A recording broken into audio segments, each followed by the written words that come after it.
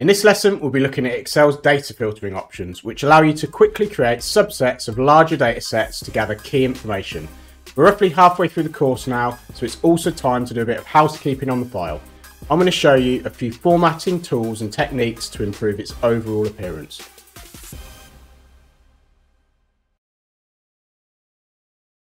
Now that our data is pretty much done, it's time to tidy up some of the other bits in the file.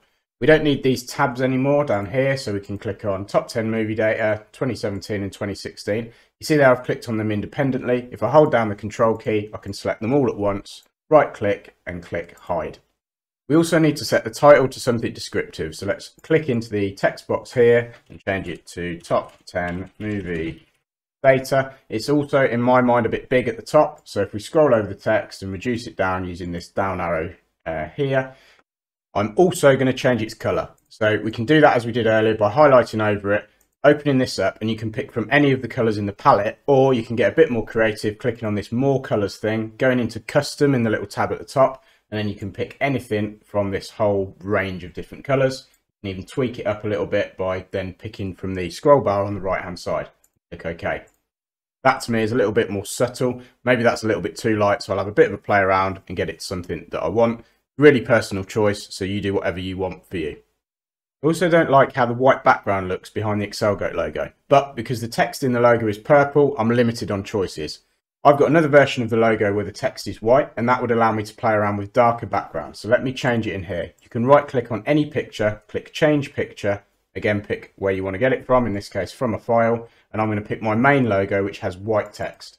That now, on a white background, the logo text disappears completely, but I'm going to change the background color to match the scroll bar on the side, then that blends a lot better. While we're playing around with this picture, let me show you another way we can manipulate image sizes and text boxes and other objects in Excel. If you select it by left clicking on it, you'll see that this picture format uh, option appears in the top menu bar.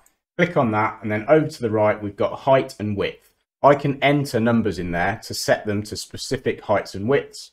And what Excel will do for pictures particularly is try to keep the aspect ratio. So if something's four wide and two high and you change it to two wide, it will set it to one high. That means the picture won't be distorted. Let me show you. So if I drop this width down, you can see that it's also reducing the height. I can then move it into position. Here's another little tip. I can do it with my mouse by clicking, holding and dragging, but I can also use my arrow keys to fine adjust it around and get it exactly where I want it. Click away and that looks a little bit more subtle in the top left corner. Those of you paying close attention will realise that the data isn't exactly as it looked in the sample file. That's because we'll be coming back later. I'll be showing you some other methods to even further improve the data and make it much simpler and quicker to use. For now though, the data is ready for some manipulation, so I'm going to show you how to do some sorting and filtering. Click on the top left header in our data, which is called position, and then click data and filter. You'll notice that Excel has added little drop down arrows across our whole header bar.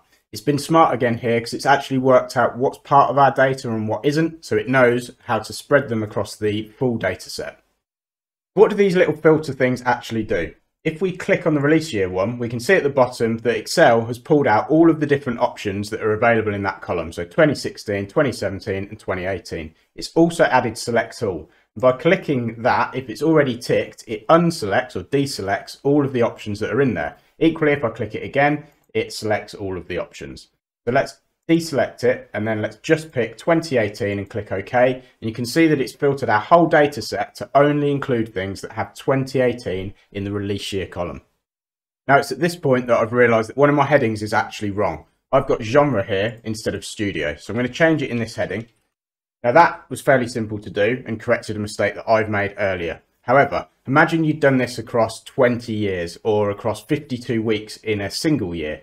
You would then have to go into every individual tab and correct that heading if it was wrong. In this case, because we've got our data all in one place, we just change the heading once and it applies to everything.